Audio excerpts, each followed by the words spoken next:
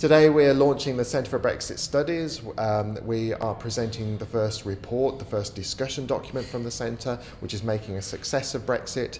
Um, the day is divided into two parts. First is business, the second is society. And then from there we will uh, launch our centre and then launch the research streams and then we will um, engage with Brexit as it goes on over the coming years. After the referendum vote, we felt that we needed a university response to understand the regional issues and the UK issues and to therefore develop an educative and research platform to engage on the Brexit circumstances.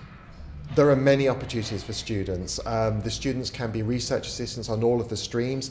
Um, already, um, the president of BCU Student Union, with colleagues uh, in Aston and Birmingham University, have submitted a Brexit manifesto for students. And so, with Joe Goodman, our president, we'll be developing a student stream within the centre to cater to student needs and have student engagement with the work on Brexit. The aims of the centre are to identify key issues within Brexit and then to develop research streams on those issues and then to provide engagement with the region and with the UK as a whole to understand how we can basically make a success of Brexit.